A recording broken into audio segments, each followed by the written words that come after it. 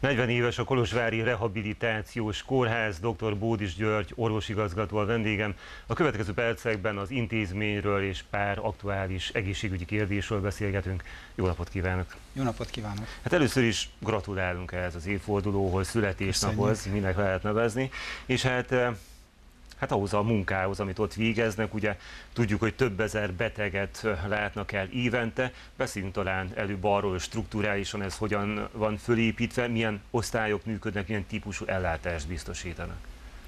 403 kórházi ágyal rendelkezik a kórház, amelynek a profilja rehabilitáció.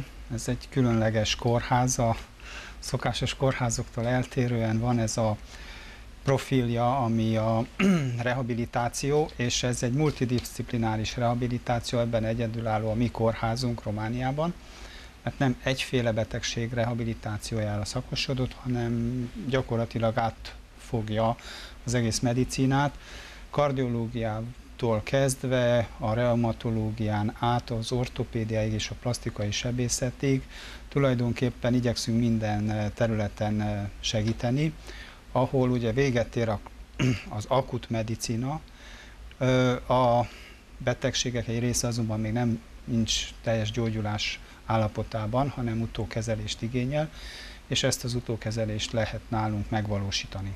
Az elmúlt időben olvasni lehetett arról is, hogy a rehabilitációs folyamat maga fölértékelődött a korábbi orvosi gyakorlathoz képest. Ez mit jelent, hogyan kell elképzelni, és ezt hogy látja nyilván szakemberként, intézményvezetőként?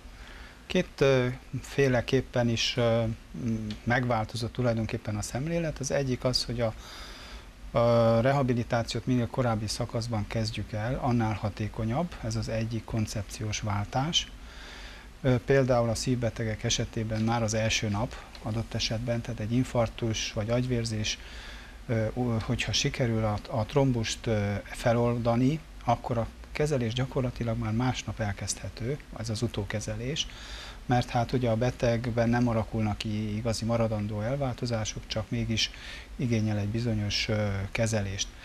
Másrészt pedig ugye a lakossági demográfiai változások vezetnek oda, hogy ugye az idős lakosság részaránya megnő a társadalomban, ezért a reumatológiai kopásos betegségek száma megnő, és nagyon sokan igényelnek ilyen ellátást a kórházi kórházi pénzek egy jó része ilyen, ilyen célra kerül felhasználásra, egyre nagyobb része, hogy így mondjam.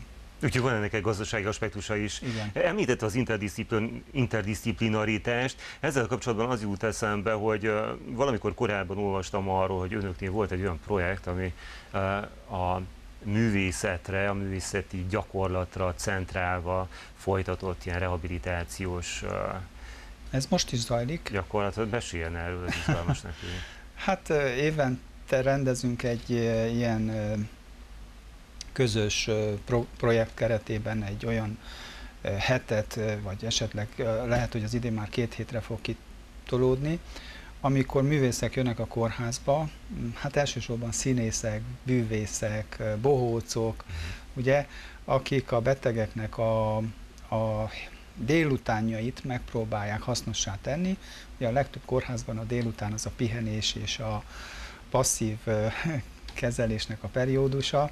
Nos, ők ilyenkor nagyon hasznosak tudnak lenni, és azt tapasztaltuk, hogy a betegek nagyon értékelték ezt a típusú gondoskodást, illetve hát, hogy, hogy megszépítették a kórházi bentlételt ezek a napok, ezek a tevékenységek. Nem is gondoltuk volna, hogy ennyire, hogy ilyen igény lesz rá. Ugye a gyerekeknél ez egyértelmű és könnyen érthető. Az idős emberek esetében is úgy látszik, hogy ez működik, és nagyon hatásos.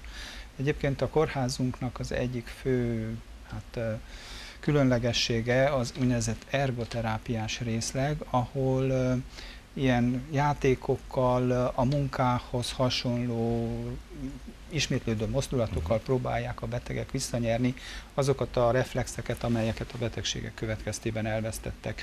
Ez is egy nagyon népszerű tevékenység, és itt is segítenek nagyon sok ö, Együttműködésünk van egyetemekkel, ahonnan jönnek a diákok, egyetemisták is, és mesterisek is, akik próbálnak bekapcsolódni ebbe a komplex folyamatba. Tehát az orvosok munkáját kiegészítik. Ugye az intézmény maga az a, a megyei önkormányzat fennhatóság alá tartozik, de ha jól tudom, nem csak a megyéből érkeznek oda betegek. A betegek közel 40 százaléka, tehát 39-40-42 százalék így mozog havonta, más megyéből érkezik. Nyilván a legtöbb beteg a környező megyékből, Szilágy, Beszterce, Fehér megyékből jönnek, Szatmár, Nagybánya környékéről sok betegünk van, de az ország minden részéből, ugye Konstancáról is jönnek hozzánk betegek, csodálkozunk is rajta, mert ugye hát nekik is vannak hasonló lehetőségeik a, a közelben, mégis hozzánk jönnek. Hát ez a, ez a folklór is működik ilyenkor, a betegek elmondják egymásnak, és hozzánk fordulnak. Hát ez azt jelenti, hogy jó híre van a kórháznak. Volt korábban egy olyan elképzelés, hogy intézetté alakul, alakítják át. Ezzel mi történt, mi lett volna a haszna egy ilyenfajta átminősítésnek? Ennek a, a te, ezt a tervet még nem vetettük el teljesen, ez egy nagyon nehéz folyamat most, hogyha adminisztratíve át akarja az ember a kórházát minősítetni, akkor nagyon bonyolult folyamat, ugye a kórháza megyei tanácshoz tartozik, de ebben a minisztérium illetékes, illetve kormányhatározat kell hozzá, tehát ezt nehéz, nehéz egy kormányzati ciklusban, vagy egy miniszter ideje alatt átvinni. Kétszer nekifutottunk már, és nem sikerült. Mi lenne az előnye? Az előnye az lenne, hogy mint intézet jobb finanszírozást kapna a kórház, és elismerné a regionális kórház jellegét ez az intézet. Nem nem is akartunk ilyen országos intézetté válni, hanem csak regionális, tehát mi Erdélyt szeretnénk lefedni, uh-huh. és ezt a, ezt a jellegét, tehát hogy ne egy, egy megyei intézet legyünk, hanem egy országos intézet. Nyilván akkor visszakerülnénk a minisztérium hatáskörébe, tehát azért mondom, hogy a helyzet Előnye is, hátránya is. Igen. Gondolom, hogy módosulna az is, hogy a különböző oktatási intézményekkel milyen kapcsolatok épülnek ki. Ilyen téren egyébként mi a helyzet? Hát a kórház egy nagyon jó gyakorlati terep nem csak az, egy, az orvostan hallgatóknak, de a Bábes Bójai Tudományintézetnek is egyre több olyan kara van, ahol kinetoterapeutákat, pszichológusokat képeznek, akik szintén jönnek hozzánk gyakorlatra, illetve a, a városunkban működő rendkívül sok, számos nővérképző iskola is hozzánk küldi a diákjait gyakorlatra, úgyhogy nagyon szoros együttműködés van ezekkel a az oktatási intézményekkel. Milyen fejlesztéseken gondolkodnak, vagy az elmúlt időszakban melyek voltak a fontosabb beruházások? Ugye egy kórháznak mindig napra késznek kell lennie, és gondolom, hogy a, a, az ehhez képest a rendelkezésre álló gazdasági erőforrás nem mindig elégséges.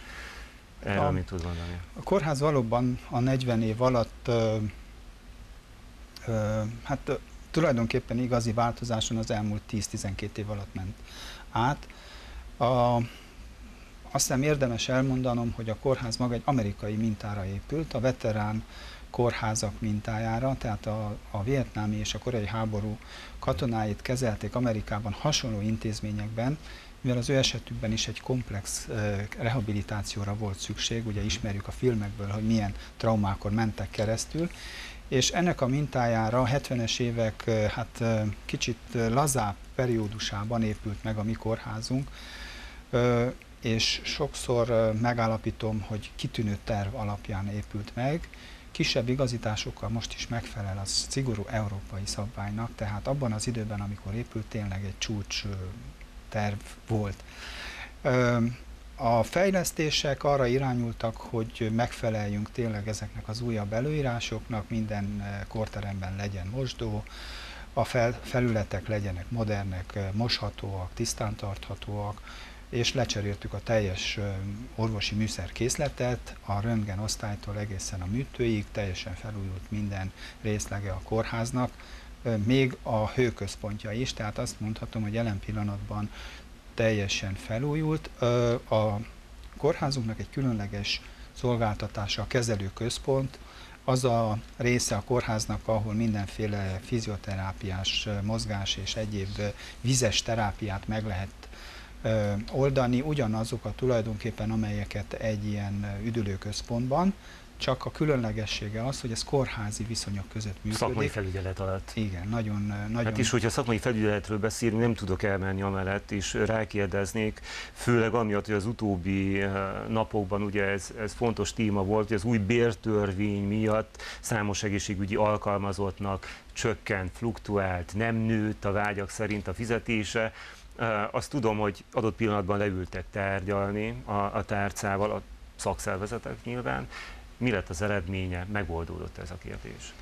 Olyan szempontból uh, találtak egy uh, áthidaló megoldást, hogy uh, azoknak a személyeknek a fizetése, akiknek egyébként csökkent volna, befagyasztásra került, tehát nem változik, marad a régi fizetés. Egész addig, amíg az új fizetési struktúrában eléri azt a szintet, és aztán utána majd lassan fog növekedni. Elég nagy elégedetlenséget szült. A mi kórházunkban összesen 16 személyt érintett, ez a 16 személy is nagyon rossz néven vette azt, hogy az ő fizetése csökken, akkor, amikor egy időben a mások fizetése emelkedik. Tehát ez a kettő együtt nagyon rosszul, rosszul sült el tulajdonképpen. Tehát, hogy akkor ez egy megoldás alatt lévő történet. Egy másik hír, ami felröppent az elmúlt egy-két napban, hogy több ezer olcsó gyógyszer, többek között a rákos, a szív, érrendszeri vagy a neurológiai betegségek kezelésére használt készítmény eltűnhet a piacról az úgynevezett clawback adó miatt, ami azt jelenti, és akkor elmondanám a nézőknek, hogy a hazai gyógyszer forgalmazók negyed évente eladásai függvényében többletadót kell fizessenek. Ezt ők kommunikálták, hogy bizonyos gyógyszerek esetében talán nem lesz fedezete a gyártásnak milyen megnyugtató dolgot tud mondani ezzel kapcsolatban azok számára, akik talán érintettek? Nem tudok megnyugtatót mondani sajnos, mert több száz gyógyszer fog eltűnni, ugyanis Románia egy olyan ára stratégiát vezetett be néhány évvel ezelőtt, hogy a legolcsóbb árai legyenek Európában. Ez elvileg szép és jó, csak a gyakorlatban a kapitalizmus körülményei között nem működik, uh-huh. ugyanis nem a minisztérium ö, gyártja és árulja ezeket a gyógyszereket, tulajdonképpen ez egy, ö, ez egy kapitalista kereskedelmi tevékenység, amiben a kormánynak annyi beleszólása lehet, hogy az árat tudja befolyásolni. És ö, tulajdonképpen, ha nem elég magas az ár, akkor a gyártók és a forgalmazók egyszerűen kivonulnak Romániából, és nagyon nehéz helyettesíteni ezeket az olcsó gyógyszereket. Mi a megoldás ilyenkor?